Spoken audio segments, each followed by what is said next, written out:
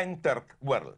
All these dreams that America will somehow regain control are for me over. And again, I'm not saying this with any, you know what I mean, of this Very left- dangerous. No, Yeah, I agree. it is a dangerous world. There- I agree. the- the two, you know, Europe is not is so bad. Listen, let's face it. And for this, many leftists will accuse me of Eurocentrism or whatever. European welfare state dream, more than, if you permit me this European love, more than, I think, even United States dream.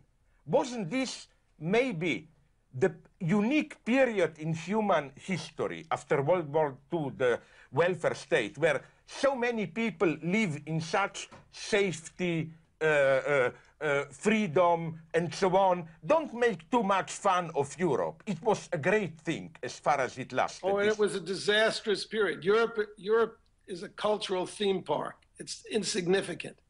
That's what happened.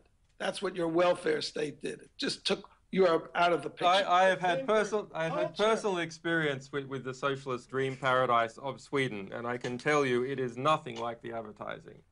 But it wasn't 20, 30 years ago. I still insist on this. Something has broken there. Yeah, the Swede, the Swedes have no morals.